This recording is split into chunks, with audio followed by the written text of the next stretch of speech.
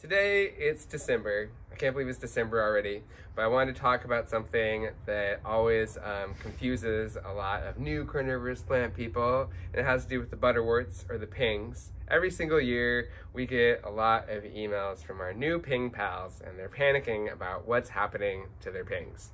So I'm just going to show this phenomenon, which is um, butterworts go, it's not dormant so people want to call it a dormancy, and it isn't actually a dormancy because they will keep growing and flowering during this phase. Like Venus flytraps and American pitcher plants, they stop growing altogether in the winter, and so that is dormancy. This is a dry, succulent um, phase. So most of these butterworts that we have in front of us are native to Mexico.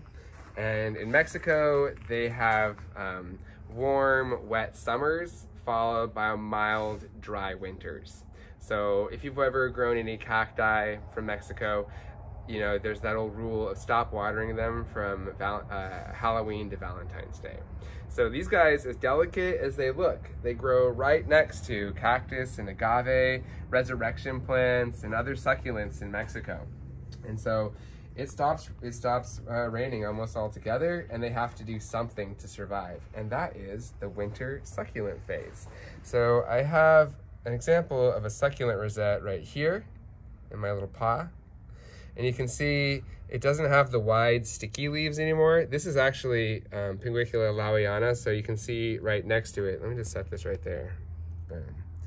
So you can see this is one that's growing and it's catching insects. So it has these wide sticky leaves for catching bugs and there's lots of water around. And then when it dries out, it can make this little jelly bean mandala in the sand. These leaves aren't sticky. They really won't catch any bugs, but it does store some water and allows them to survive. And they can get really, really dry and you do want to dry them out a little bit you can kind of follow their lead. So there's some species like Gypsicola, Crassifolia, Colimensis.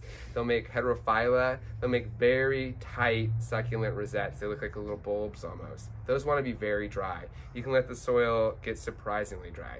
It'll suck up around the sides a little bit. You just want to sprinkle them maybe like once a week. You know, they can get too dry and die, so there's a little bit of a balance there, but you don't want them sitting in water the entire time. Um, some of them, like uh, Gigantea or Marginata, Marginata grows next to wet waterfalls in Mexico, and so they never experience that um, dry period. So a Marginata crosses, um, Gigantea crosses, a lot of those may not make a succulent rosette at all, and they don't usually need to. Like some of them, like Laueana, are very, if they want to. If they dry out, because these are the same time of year, and you can see these are still growing, but this one's already made its succulent rosette. So probably that one got a little bit drier and it made the call to do that. And so if you're growing that at home, you would let that get a little bit drier, but these other ones can stay wet.